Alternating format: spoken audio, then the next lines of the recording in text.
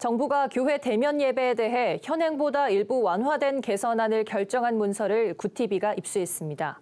하지만 일관된 기준 없이 정리되지 않은 문구, 여전히 교회의 입장을 수용하지 않고 있는 점에서 논란은 계속되고 있습니다. 오현근 기자입니다.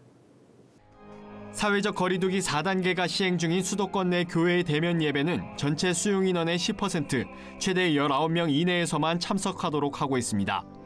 수용 인원의 10%라고는 하지만 1000명의 성도가 들어가는 교회나 200명이 들어가는 교회 모두 최대 19명만 예배에 참여할 수 있어 상식적으로 이해할 수 없는 정부의 모호한 방역 지침 기준에 대한 불만이 제기돼 왔습니다.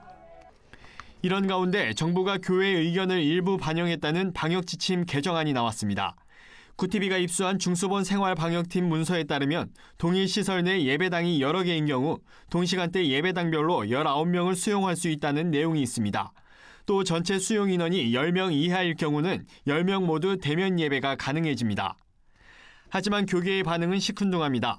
일단 방역 지침의 기준이 일관성이 없고 초소형 교회에만 예외를 두는 건 방역의 원칙에도 맞지 않는다는 겁니다. 교계는 예배 시 마스크를 벗지 않고 거리두기 간격을 유지하더라도 최대 19명만 수용이 되는 현 상황에 여전히 불만을 토로하고 있습니다. 일부 교회 단체는 관련 포스터를 제작해 일선 교회에 공유하며 법적인 대응까지 시사하고 있습니다.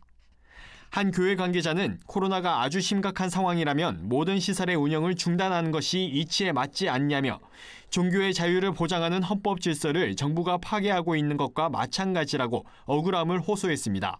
과학적이고 논리적이며 일관된 기준으로 정책을 시행해야 하는 정부의 지침에 수정을 촉구하는 목소리가 높아지고 있습니다. 구티비 뉴스 오현근입니다.